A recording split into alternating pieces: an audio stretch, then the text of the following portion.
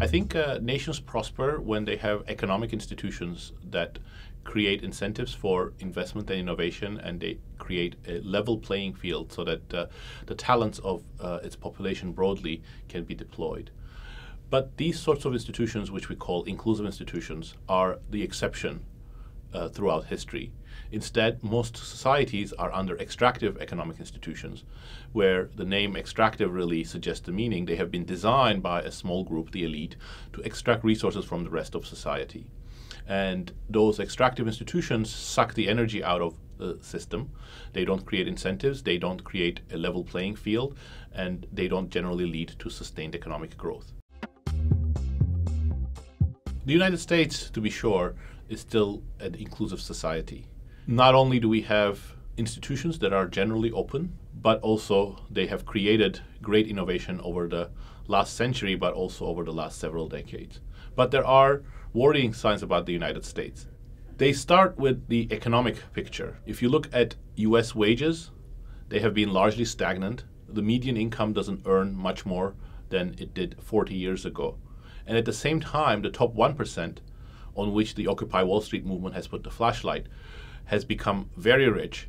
For example, uh, taking home almost a quarter of in the entire national income of the United States. But more worrying than the economic inequality is the implications of that economic inequality for political inequality. Because when economic inequality leads to political inequality, then the economic institutions start sliding even worse because the people who monopolize political power will start to change the rules to their favor and at the expense of the society at large. This is not the first time where economic inequality has shot up, and economic inequality has been associated with incipient political inequality.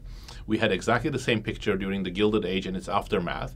And if anything, the robber barons of that day were more unscrupulous and more ruthless than our uh, our political elites and uh, the very wealthy today.